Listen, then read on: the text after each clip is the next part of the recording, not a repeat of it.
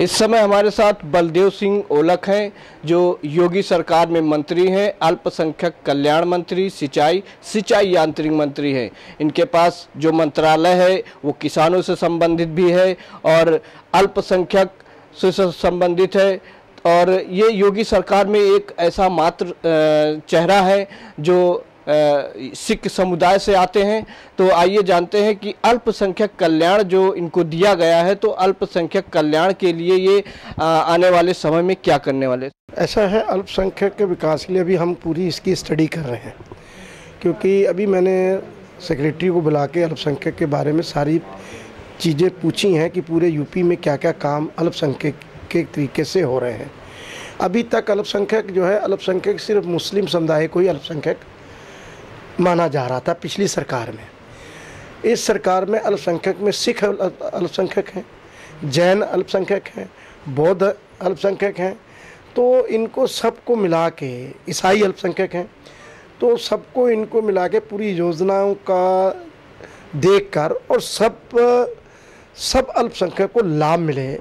और किस तरह से उनको लाभ पहुँचाए स्कूलों में, स्कूल के ज़रिए है, आंगनबाड़ी के ज़रिए है, अपने जो एडेड हैं, उनके हैं, वजीफ़े हैं, ये सारी चीज़ों की स्टडी करी जा रही है कि ये मोदी सरकार में जो मोदी, माननीय मोदी जी का नारा था, सबका साथ सबका विकास, अब सिर्फ़ विकास एक कम्युनिटी का अल्पसंख्यक में नहीं होगा, अब जितनी भी अल्पसंख्यक में वो हम अल्पसंख्यकों में कास्ट हैं उनको, सबका उनको अल्पसंख्यक लाभ मिलेगा और उसके, उनके लिए योजना तैयार करी जाएँगी।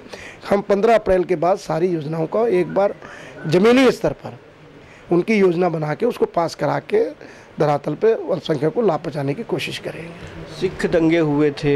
अब इस समय जो है कोर्ट ने संज्ञान बहुत तेज़ी से लिया है और सज्जन कुमार काफ़ी समय से आप लोग मांग करते आए कि जो सिख दंगे के दंगे के आरोपी हैं उनको जल्द से जल्द सज़ा दी जाए। तो अब क्या लगता है कि सिख समुदाय को अब न्याय मिलना देर नहीं बल्कि बहुत जल्दी न्याय मिलने वाला है सिख दंगों देखिए मैं तो न्याय का आदर करूँगा कि अगर उन्होंने ये संज्ञान द्वारा लिया है तो मैं तो कह रहा हूँ सत्य के साथ, ईमानदारी के साथ कोर्ट बहुत ईमानदारी से काम करते हैं।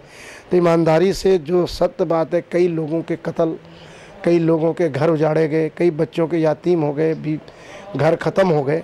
अगर उनको सही न्याय अब कोर्ट ने संज्ञान में लिया है तो जो भी वो न्याय करेंगे।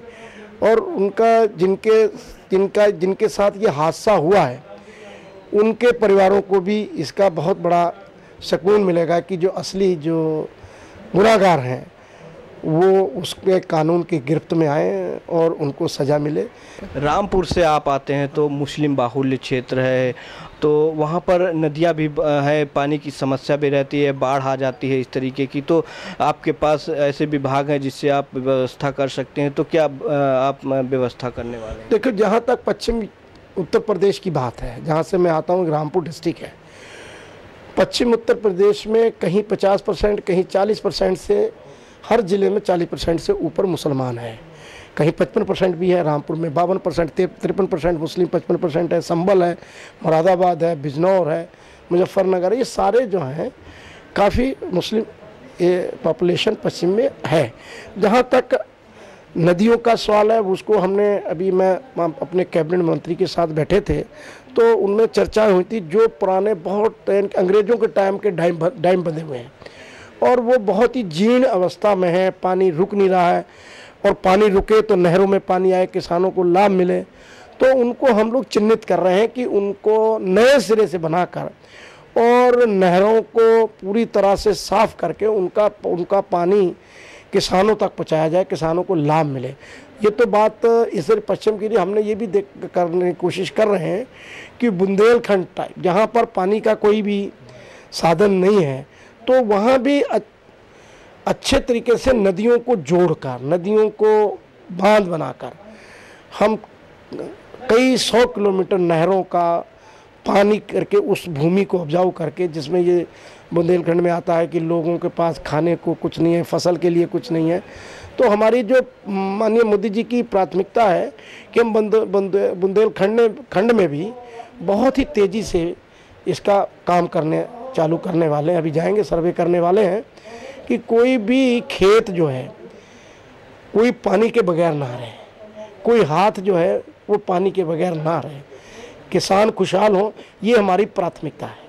अल्पसंख्यक की बात करें तो अल्पसंख्यक मुस्लिम महिलाएँ बहुत पीड़ित थी जिसका मुद्दा प्रधानमंत्री और खुद अमित शाह उठाते रहे हैं कि अब तीन तलाक पे जिस तरीके से रोक लगे नया कानून बने तो तीन तलाक को कब आप लोग कब ख़त्म करने वाले हैं? कब इस पे जो है युद्ध स्तर पे काम शुरू होगा? क्या देखिए ये तो एक प्रक्रिया है।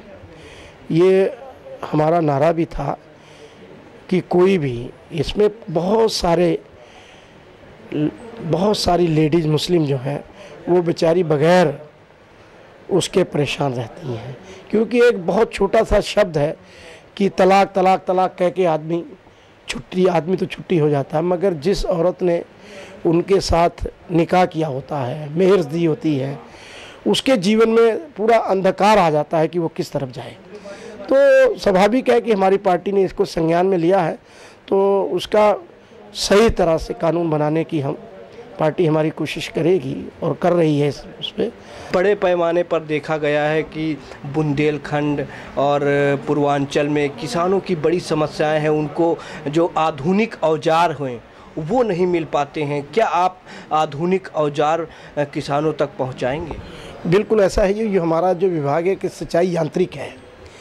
हमें अभी, हमने आपको अभी बताया कि नहरों का बुंदेलखंड में और पूर्वांचल में हम नहरों का जाल बिछाने वाले हैं। दूसरी बात ये वो हमारे सिंचाई विभाग में ट्यूबवेल्स हैं बड़े बड़े उनको भी हर विधानसभा में उनके एरिए के हिसाब से। तो वो भी हम ये चाह रहे हैं कि भाई वो बड़े बड़े ट्यूबवेल्स जो हैं, वो लगें, किसान खुशहाल हो।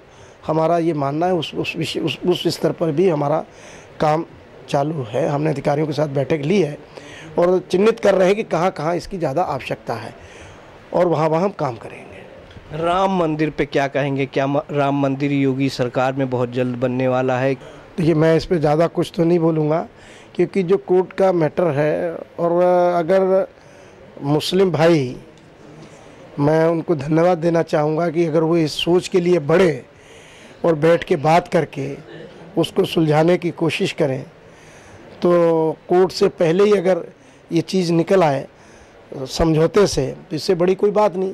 नहीं निकलेगी तो जो कोर्ट आदेश करेंगे वो होगा। योगी सरकार में एक मात्र आप ऐसा चेहरा हैं जो सिख समुदाय से आते हैं। इस पे क्या कहेंगे? मैं योगी सरकार का और अपनी भारतीय जनता पार्टी का मैं बहुत शुक्रगुजार हूँ कि उन्होंने कम से कम उन्होंने 403 सीटों में एक सिख को टिकट तो दिया। टिकट में जीत जीत के आया। अभी तक तो जो सरदार पिछली पार्टियों में थे, वो इंपोर्ट किए हुए थे। पंजाब का सिख इंपोर्ट करके उसको यहाँ पे मिनिस्टर बनाया गया था। तो भारतीय जनता पार्टी ने टिकट दिया। भारतीय जनता पार्टी का सिपाही एक एमएलए बन के आया है, वो मिनिस्टर उन्होंने बनाया है। अब काम का जहाँ तक है, काम भारतीय जनता पार्टी जितना सोच रही है, मेरी कोशिश ये रहेगी कि मैं उससे ज़्यादा काम करके दिखाऊँ। तो ये थे हमारे साथ बलदेव ओलक जी, जो अल्पसंख्यक कल्याण मंत्री, सिंचाई सिंचाई यांत्रिक मंत्री हैं। योगी सरकार में एक महत्वपूर्ण इनको विभाग दिया गया है। कैमरामैन सुरजीत सिंह राणा के साथ मैं राम बाबू, लखनऊ से।